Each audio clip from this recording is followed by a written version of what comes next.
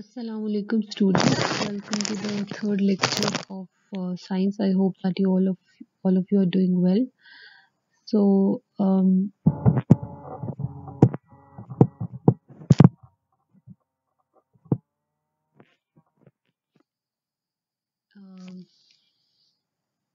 so today we are going to study where we are studying the first chapter adaptation. So we are doing uh, we continue to do so.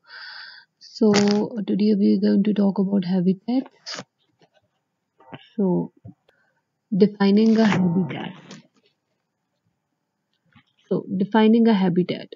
All ecosystems have raw materials, producers, consumers, and decomposers. But when do, where do the living things live? What exactly do they need to help them survive? All organisms occupy a habitat. This is a part of an ecosystem that supplies their basic needs. So, what is a habitat? Um, a habitat is basically a place or uh, a place where an organisms organism lives. Uh, it's basically we can call it a home for all the living organisms like animals and plants and you know um, human beings as well. So just like we discussed in the previous lecture that all ecosystems they have raw materials and we had discussed what raw materials are and producers and consumers and decomposers are. So um what um where uh, you know ecosystem um they can have habitats. Um but where do the living things live? Living things lives in a uh, in a habitat um and all organisms all the living organisms they they might they must have a habitat to live okay so what are the parts of habitat um the basic parts are uh, food and shelter So the basic part of a habitat is food. So uh, food is, as we know, that all living organisms they need food to survive. In order to live a, a life, they need to eat and they need to, um, you know, uh, feed. Um, the most important need is for food. It does not matter how good an area is another aspect. So if if an uh, if there's an ecosystem, if there is if, if there is a place where there is um there is uh, no food available even if the um yeah, even if the area is very good but uh, that is of no use because uh, living organisms they need food to survive. Um, if there is not enough food to go around for plants this means having access to light minerals and water. So for, for plants their food is sunlight minerals and water. So this is this is basically the requirement of the plant. They don't uh, feed on other plants or animals, or rather the feed they uh, make their food by the process of photosynthesis. You know, they take in um, carbon dioxide, uh, they take in oxygen and exhale carbon dioxide. They take in sunlight and minerals and you know water from the soil and turn it into food for themselves. So for animals, it means there must be enough plants or prey to feed on. So some animals uh, they are herbivores, some animals they are carnivores. Uh, means uh, carnivore means they feed on other animals, while some animals they are herbivores, the which eat plants. So um, animals for animals the food must be plants and animals okay? And for uh, plants so the food must mm, food is uh, having access to light minerals and water. So if there is an area where they don't get enough light and they don't get water and barren uh, then um, uh, you know they won't grow. So um, that's not a good habitat or that's not proper uh, adequate habitat for them. Then the second thing is um, shelter. Shelter is also very important because uh, you know if we are getting food but we are uh, in danger or if we are uh, um, you know endangered by by certain situations or by certain uh, things uh, then that habitat is also or that place cannot be a habitat for uh, for an organism. If they are not protected and if they are not um, you know um, uh, if they're not um, finding shelter so the next most important need is for shelter. All living things need to protect themselves from the elements and from predators. So uh, any, uh, all the organisms, uh, be it human beings or animals or plants, they need uh, protect uh, you know uh, they need to get, be aware and they need to be protected from uh, and from predators and you know um, from other animals or uh, um, you know uh, plants or you know uh, from attacking them or you know uh, uh, from uh, not uh, only uh, predators but also like um, from from bad weather. If there is bad weather they need to protect themselves. If there is a plant and there's an animal where um, you know a heavy wind is blowing or there's tornado there's volcano there is you know the elements of the um uh, of the nature that are not uh, suitable to for for for an animal to survive or a plant to survive. For example there are uh, there is um when there's cold weather in some parts of the um, uh, planet, then some animals migrate to find shelter to other places which is suitable for them. Um, for animals, uh, uh, oh, sorry, um, animals need shelter while they sleep during the night or the day. So uh, they need when- whenever there is they need a comfortable place to sleep and during the day. Some animals they rest in the day some animal, animals they rest at the night. So they need to find shelter safe place to uh, you know to to sleep. Plants need shelter from wind, frost, and in some cases excessive heat.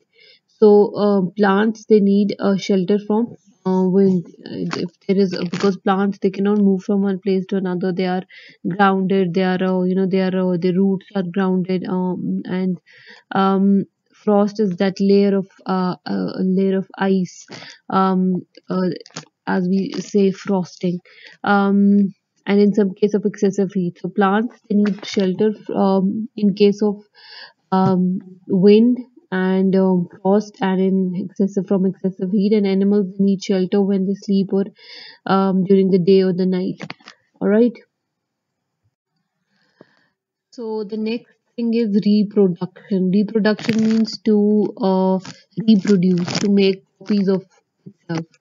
So living things reproduce living things they have babies uh, similarly animals they uh, reproduce they have their babies plants they also reproduce in some other way. They don't have babies but they they also make copies of themselves. So reproduction means to uh, to re to reinvent to reproduce um, uh, itself. The final thing a habitat must provide is a place for reproduction breeding to occur. So um, in, apart from food and shelter, there must be a safe place for reproduction. This means that an area must be big enough for a male and a female and all the offspring. So when you know uh, if there is a small place and then um, uh, the the animals they have their uh, children or um, um, no so the the uh, human beings they have their children or similarly the animals when they have their babies um, they need to have a bigger area bigger place where they can uh, live with their offspring as well with their babies as well.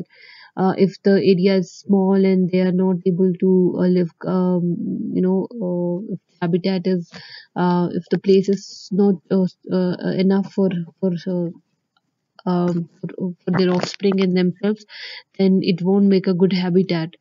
So they need to um, have a place where they can reproduce and they can um, you know uh, keep their offspring as well. It needs to have a place for their young to grow and have enough food at the right time for them to survive. So when uh, a baby is born it the requirement of their food is different from an adult.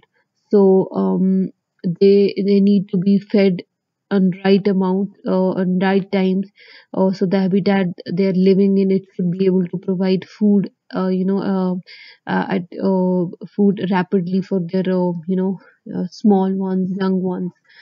So not every habitat is same. So every species it depends on the species it depends on the area uh, so not all the habitats they will be similar. All the habitats they are different from one another the idea of a habitat is based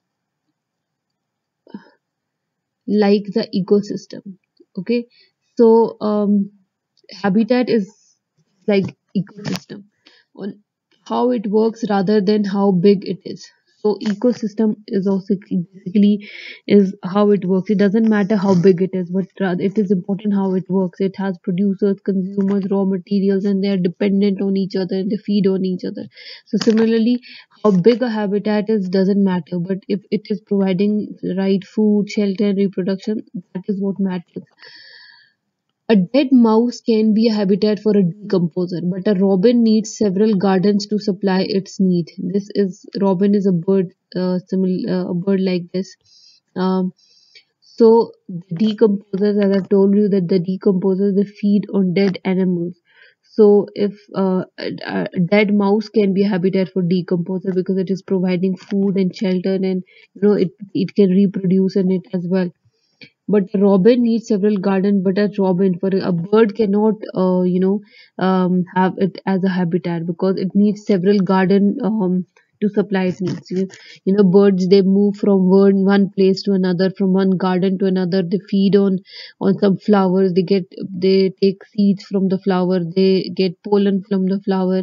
And um, then they travel from one garden to another to collect seeds and to find their food.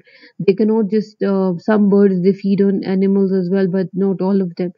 So um, so they need to travel from one place to another. So that is the habitat for for the for the robin for the bird.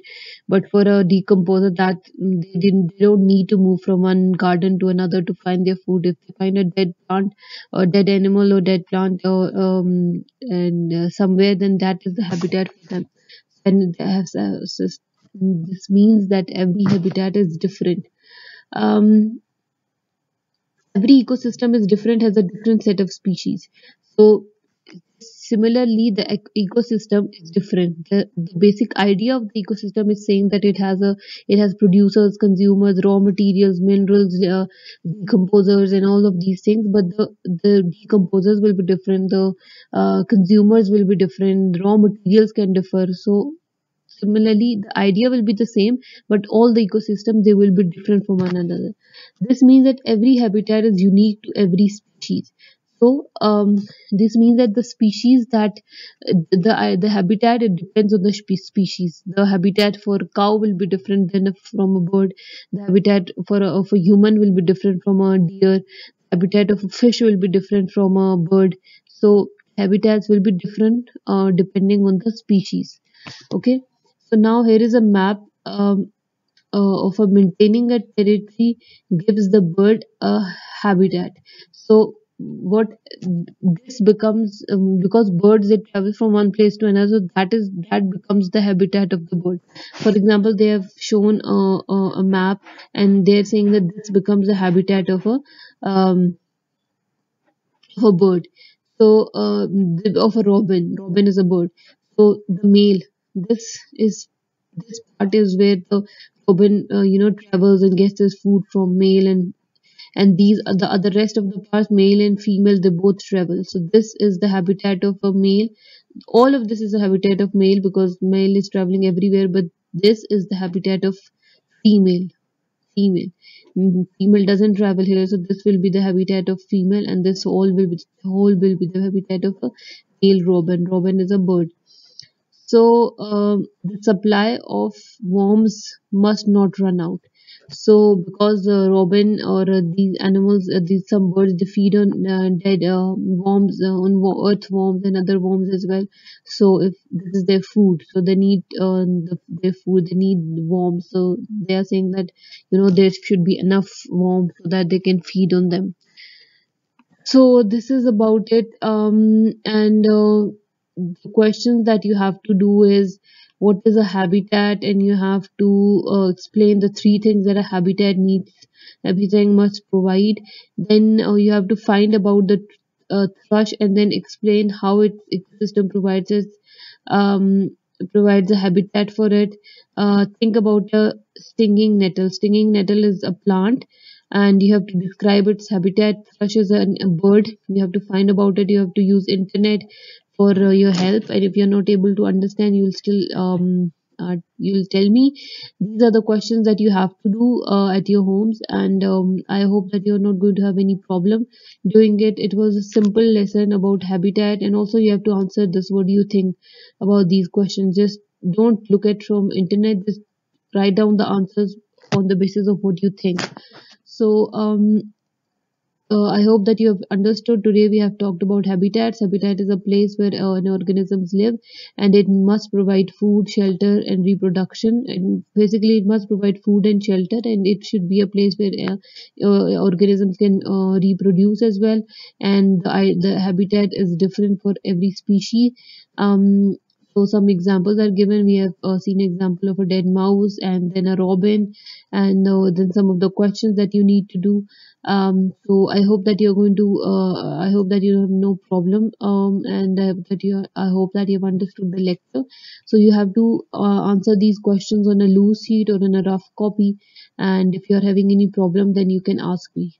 Till then, take care and Allah Hafiz.